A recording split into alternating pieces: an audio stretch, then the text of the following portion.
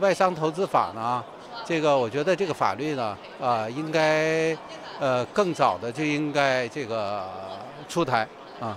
我们国家改革开放这个四十多年，四四十多年啊，这个发展以来呢，我觉得呃外资外商投资呢，在我们国家经济发展过程中起到了非常重要的这个作用啊，特别是深圳以深圳为代表的这种呃这个呃特区呢，在发展过程中啊，这个作用更加明显。那么这个我们应该重视外资啊，这种外资呢，不光是我，在我的理解看来，不光是包括资金，也包括技术，保护知识产权啊，然后禁止这个强迫性的这个技术转让转让这方面，你觉得能不能起到一些保护作用？完全可以。我们前期呢学习了这个《中华人民共和国外商投资法》的草案，这一块的条款全部都列进去了，对将来以后的法律的规范呢。起到了很好的作用。您觉得这个法的推出是不是跟美中贸易战有直接的关系？应该没有直接关系吧，因为之前其实也有相关的法律，这次实际上是对原来的三法的一个补充。这能不能看成是一个中方对美方的一个让步？我不认为是这样，其实是我们整个法律体系的一个完善而已。这是不是涉及了结构性的变革？是不是？我我讲完了。除了这个负面清单之外的这个项目，啊，这个就要通过这个，就是就是投投资前的审核，进来以后可以享受国内待遇，这是相当好的条款，是吧？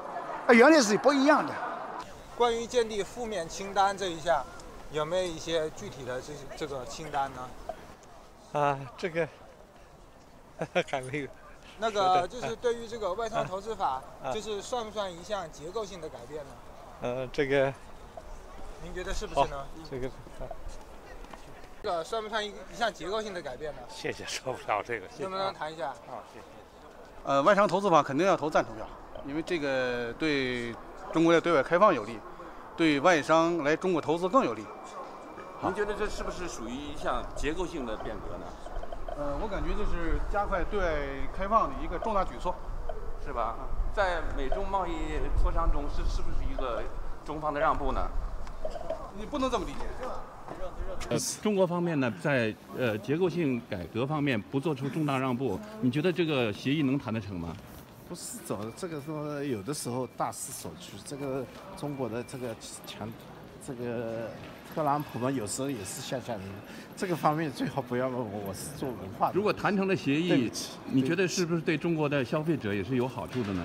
那当然了，他这个是做的非常重要，我天天关注这个问题。一个通过两两国的开诚布公的这样这种呃谈判，呃，任何领域都有可能取得一个呃双赢的一个局面。